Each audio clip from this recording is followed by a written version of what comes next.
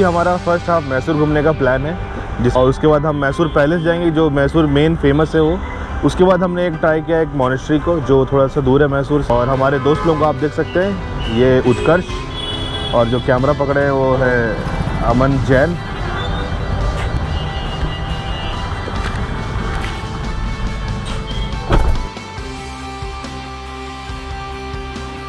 इसको वाडी विलास पैलेस भी बोलते हैं। इसके अलावा ये वालिगा डायनेस्टी का सेंटर हाउस है मैसूर पैलेस।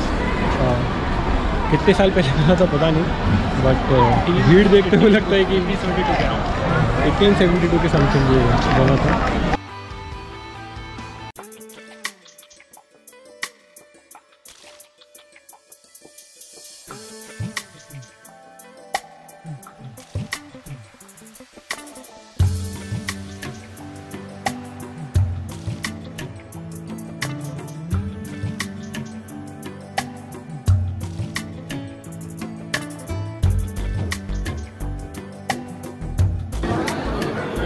हावड़ा elephant.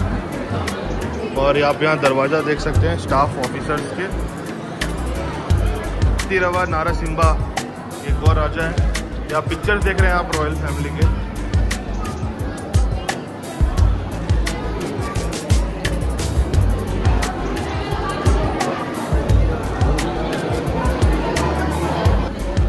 Krishnaraja Wodeyar four on throne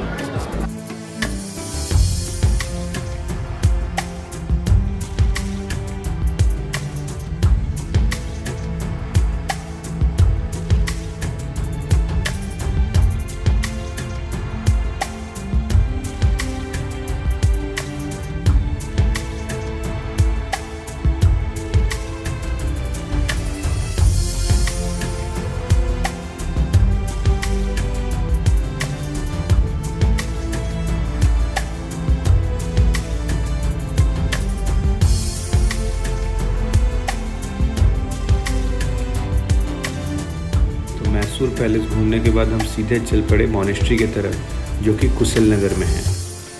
ये मोनेस्ट्री की खास बात यह है कि ये इंडिया की लार्जेस्ट मोनेस्ट्री है।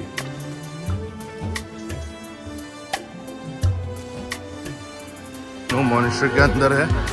आप देख सकते हो, ये टेंपल है। बहुत सुंदर से सजी हुई है।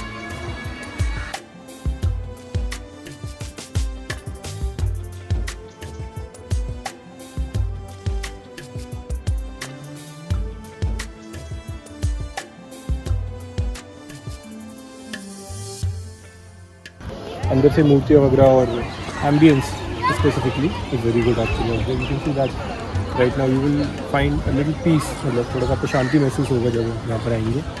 और आपको उनका कल्चर भी देखने को मिलेगा। How the followers of Dalai Lama and actually how this monastery operate and you will find that एक वो शांति वाला माहौल। So you should come and try this out in this तो मैसूर का ये ब्लॉग यहीं पे ख़त्म होता है। अब मैसूर से हम लोग कुर की तरफ़ रवाना हुए थे, जो कि नेक्स्ट ब्लॉग में आएगा। अगर मैसूर का ये ब्लॉग अगर आपको पसंद आया होगा तो लाइक शेयर सब्सक्राइब ज़रूर कीजिएगा। Thank you